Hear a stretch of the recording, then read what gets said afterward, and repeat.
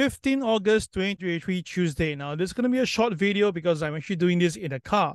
But to me itself, this is so important because I feel that there could be some selling coming in in the market because both George Soros and Michael Burry, they filed at 13F and it shows that they have basically sold some position alongside and take a pretty heavy sell position on the market.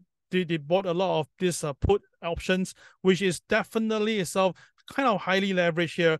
And I think is this, they are just, just early, but they are definitely not late. All right. So stay tuned on this video. Let's go. Okay. So disclaimer apply as usual. And thank you, Ames, for the kind sponsorship. Now, the thing is this, who is George Soros, right? Now, this guy is a Jewish and he's not American. Now, he has made his money, right, through trading, speculation, lots of very, very incredible big games he went for. All right. The thing is this, he is born on a very interesting day. Look at it. Mm, interesting. Okay. Now the thing is this, being a Leo Rizal, right? He's definitely one of the leader, and he's known to be a troublemaker or rescuer because he did use his money to do a lot of good stuff.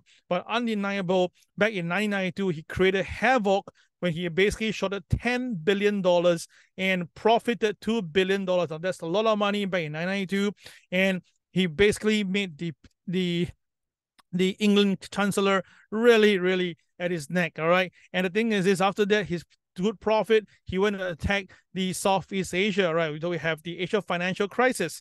And of course, back then, ex-Malaysia uh, Prime Minister Mahathir really, really hit him. But of course, after many, many years, they buried the hatchet. And recently, they have filed, they have been, been pictured together and stuff like that. I'm pretty sure it's like, oh, enemies finally just resting in. But of course, does he make money every time? Not really. Well, he tried to attack Hong Kong, which he was profitable at the start. But as I said, towards the end itself, right, all the billionaires, all the big bosses, governments came in to really salvage the situation and turn it around and send George Soros packing.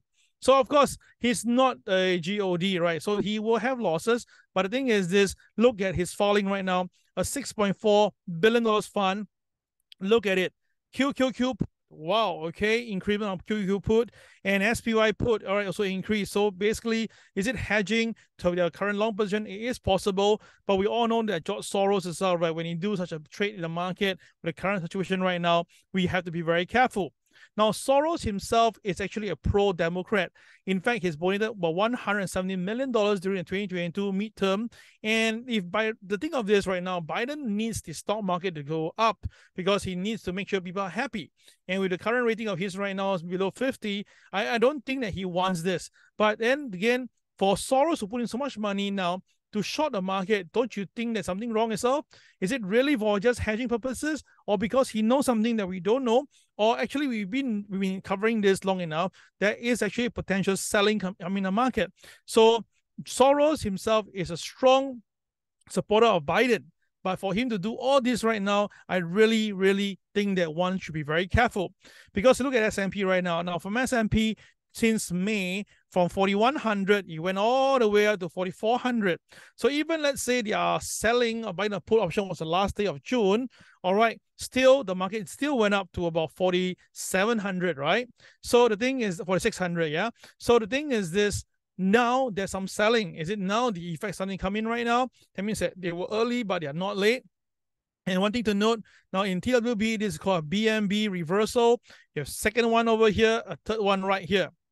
Now, this is not a good sign because whenever you see something like this, right, we all know as a trader that things may get really out of hand. And of course, if this continue, well, it is very possible that the market will come down all the way. So I believe that we're going to see 4400 coming in.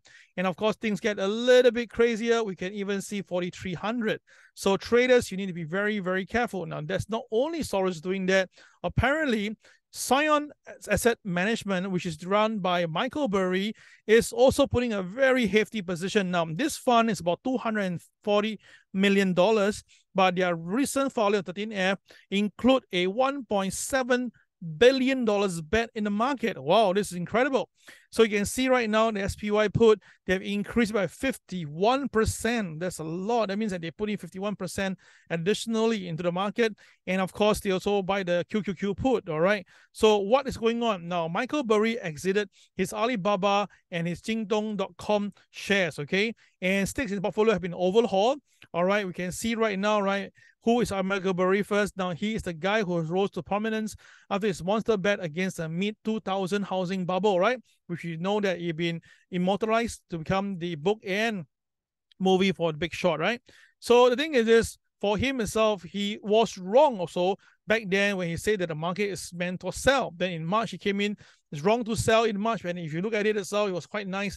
He called for sell, the market came down a little bit, but in March, the market actually went all the way up so and he basically took the 100 pie. So let's put it this way both Michael Burry and George Soros, they're not like God. They can't be perfect. But of course, now if they put a, such a big position, look at it, the company has put in a put option of a value of $739 million against the Invesco QQQ Trust ETF. And a separate option, basically, there is a $886 million bet against SPDR, the S&P 500 ETF. So if you look at it right now, they, or I will say that both of them seems confident that there will be some profit taking coming in. And based on the chart right now, you can see that the Dow Jones have been trying to stay above the MA 30 for quite a few days, and that's why it couldn't go down. But as I'm doing my recording right now, it's just broken below 35,150, and there is a very good chance that if this continue, we can see coming down all the way to 34,000, all right, and 600 level.